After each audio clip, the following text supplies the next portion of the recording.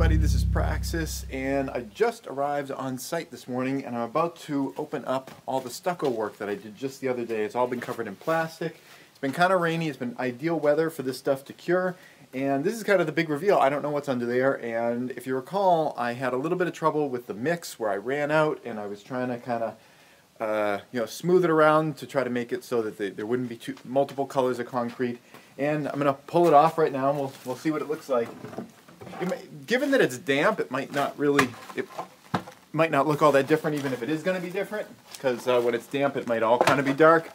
But I, I, feel like in the past I was able to see a little bit of variation despite that. Okay. All these pieces of plastic, these are all just pieces of plastic that uh, came with our piles of supplies over here. These in particular came with the pink foam insulation that was used right here whenever I get all those wrappers and stuff, I always keep those things because they're really handy for covering up concrete or covering up lumber or just covering up anything. One of the contractors left, left his sawzall from doing the electrical work the other day, and I was able to just throw it under a tarp and you know send him a message and like, like you know you left your tool here. I put it under a tarp so it won't get wet, so you can pick it up.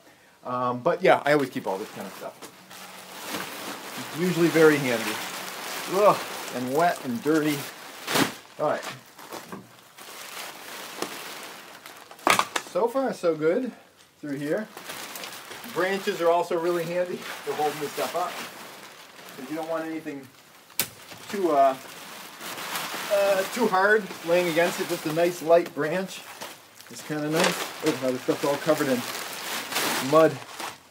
Uh, it looks a little patchy here, but a lot of the ones in the past had a little bit of a patchy look to them, and that kind of, you know, just as it dried, it kind of smoothed out. So nothing bad here. Got a little mark here little circle. This is where the gray water is going to come from the kitchen. Kitchen sink is going to be right there. And I made a pass-through. It's kind of secret. Um, you know, for the initial plumbing inspection and everything, none of that stuff's going to be there. But there's no wire lath there. So the, it's just a thin layer of concrete, uh, two layers of foam, and then a hole through the, the foundation. So this will be easy to kind of just pop out. Let's see. Can I pull these down without pulling stuff down on top of me? I don't know about that. Let's see. This is the area up here that I was most concerned about. And it actually looks pretty good. It looks pretty uniform throughout. It was up in this area where I started running out and I needed to uh, get other stuff. It's a little uh, lighter here than here, but that's just because of the dryness. It's a, you know, there's morning dew on here and not on there. Overall, looks pretty good. I'm gonna have to release these from you know going up on top. So that, that, that, all, that all worked out pretty well. The next thing I'm to be doing is I, I've got a shovel right here, and I can start, well, doing this taking the, all this gravel and gently putting it back down around the foundation. This area has been really kind of, well, I don't want to use the word difficult, although, you know, for river maybe a little bit difficult to walk through because, uh, you know, there's a trench and you don't want to step on top of the foam or, or any of this area here. So it's, it's been a little bit of a, a trick to navigate through. But now it's starting to all smooth out and everything, and uh, it's good. It's good. By the way, this this pipe over here, if you recall, that is the uh, outside air uh, source for the wood stove that comes up over there. You see the little white tube coming up out of this concrete. This is where it's going to come up in the greenhouse to get air for that.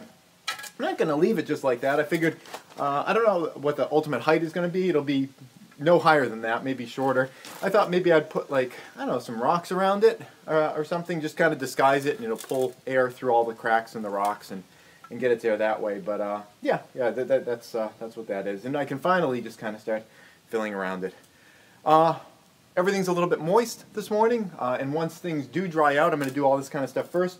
Once things start drying out, uh, I'm going to work on posts these things right here. I've got them all marked off where they're going to go. And then as things dry off even more, if they get to that point today, because it has been a little wet, uh, I'm going to be working on floorboards again. The floorboards are the, the, the thing that you most want to do when they're dry because those things, they really, you really see the shrinkage and the crackage um, you know, between them if you work on them when they're wet. But at the very least, I'll be able to do a lot of posts today. That's it.